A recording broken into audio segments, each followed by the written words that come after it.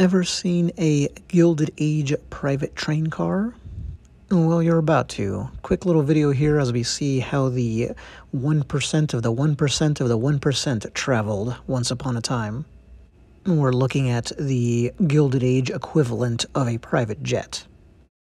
It belonged to this guy here, William Flagler, uh, industrialist, philanthropist, robber baron, you know the type. Well, it belonged to him, and it's housed at his former winter home called Whitehall, seen here. It's a National Historic Landmark located in Palm Beach, Florida. Yes, that Palm Beach, where a certain ex president has his resort and residence.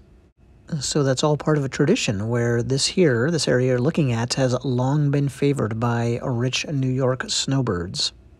I can't imagine what Flagler's net worth would be in terms of today's dollars, considering like this here is just one room in that house.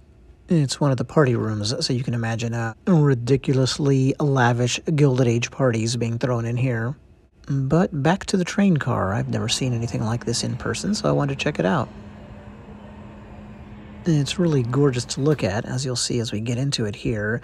Uh, one thing that's funny is, uh, you know, progress doesn't stop, and this would feel cramped and probably pretty uncomfortable for a group of travelers today. I say group it because I had a private room and then another one with bunk beds, all crammed into this standard size train car. Well, of course, in those days you had to have a writing desk, so there it is.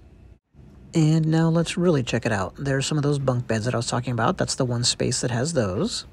And passing by the shower and bathroom, two separate spaces, both really small. We'll get back to them. But moving on, here's the private bedroom, which has its own bathroom on the left, but yeah, it's really nice, as you can see, but pretty tiny. I think this is smaller than the room I grew up in. There's that private bath. And this was the height of luxury at the time. Here's the living room slash office one more time. And let's get back to the restroom, the one that everybody besides uh, Mr. Flagler had to use on the train. Not a lot of space, as you can see. Uh, probably a little bit bigger than a modern airplane bathroom, but that's about it. The shower, not only was it small, but I like how kind of rustic it looks like. This was, again, you know, as much money as somebody could possibly spend on a traveling shower back around the turn of the 20th century, and just not that impressive, to us anyway. Exposed pipes, uneven walls. And here's the only room I haven't shown or mentioned yet the kitchen. It's small as well. One fun little feature is down by your feet if you're working at the stove. We noticed a tiny little hatch, and I think one of my kids opened it. I can't remember who, but opened it up, and it was just like this tiny little hole that just goes through to the bottom of the car. And our guess was that was for throwing away trash. Why bother to bag your trash or anything when you can just drop it down on the train tracks below you? Here's the master bedroom again, and it really is like the cheapest hotel room you could possibly find in Europe, where you're just having to work your way around the bed to get to the bathroom. I've been there. One of the bigger antiques I've shown on the channel. I obviously love antiques, and I love imagining what it was like when they were being used and the people that were using them. So it's kind of a more immersive version of that.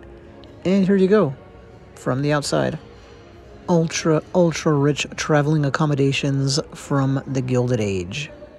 Flagler Museum, Palm Beach, Florida. Thanks for watching.